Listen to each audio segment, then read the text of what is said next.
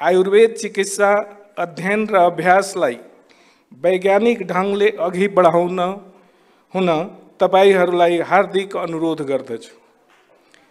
जडीबुटीको खानी मुलुकमा आधाभन्दा बढी आयुर्वेद औषधि बाह्य मुलुकबाट ल्याउनु पर्ने अवस्था हुनु आफैमा विडम्बना हो।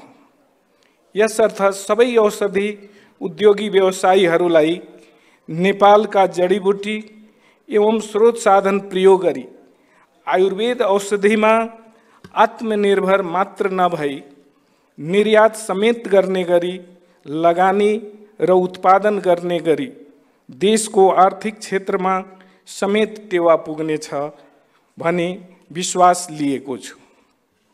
विश्व हर्बल मेडिसिन, योग छारसूत्र चिकित्सा पञ्चकर्म जस्ता विषयहरूमा आकर्षण बढिरहेको छ।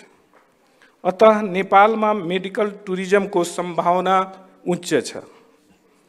आयुर्वेदको समय अनुकूल स्वास्थ्य नीति एवं कार्यक्रम तर्जुमा र बजेट विनियोजनमा आयुर्वेदलाई प्राथमिकतामा राख्ने, विशेषज्ञ आयुर्वेद सेवा प्रदान गर्ने, आधुनिक अस्पतालहरू प्रदेश स्तर में स्थापना करना स्वास्थ्य बीमा में आयुर्वेद सेवालाई समावेश आयुर्वेद चिकित्सक एवं स्वास्थ्य को वृत्ति विकास, अवसर सृजना करना र शिक्षण संस्थाहरूको अध्ययन अध्यापन वैज्ञानिक तथा अनुसंधानमूलक बना संबद्ध सब लग्न होने भाई विश्वास लिएको